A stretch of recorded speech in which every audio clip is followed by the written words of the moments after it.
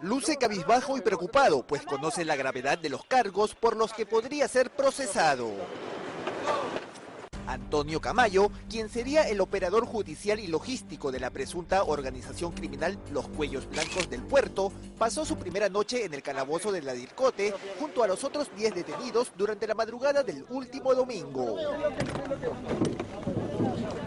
Los detenidos fueron trasladados a uno de los ambientes de la Dirección contra el Terrorismo para realizar diversas diligencias, mientras en los exteriores algunos familiares trataban de entregar alimentos a sus parientes.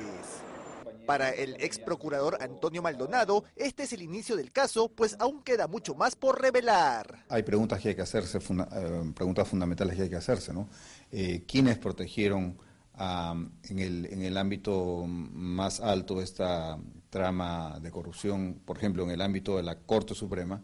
quienes protegieron a esos actores. ¿no? En ese sentido, señaló que los detenidos podrían acogerse a la colaboración eficaz si brindan información nueva. Eh, esa información tiene que ser en primer lugar oportuna, como usted bien dice, revelador en el sentido que tiene que contener información que sea corroborable, que, no, es, no es eh, una información que, que no pueda ser verificada en la realidad eh, y sobre todo que sea muy pertinente a los efectos de los fines de la investigación. Por la gravedad de los presuntos delitos, Maldonado cree que se cumplen los requisitos para una eventual prisión preventiva, pues los audios son contundentes. En varios de los audios, eh, en las comunicaciones, quienes los llaman eh, obtienen como respuesta, dime a quién, dime a quién ayudo, dime a quién apoyo, ¿no? O sea, hay una amplitud y una disposición total para usar la investidura jurisdiccional eh, un marco de tráfico de influencias eh, a cambio de dinero.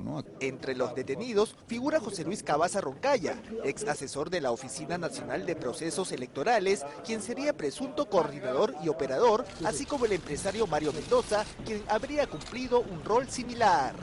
A la organización criminal se le imputan delitos referidos a corrupción de funcionarios, tráfico de influencias, cohecho y peculado.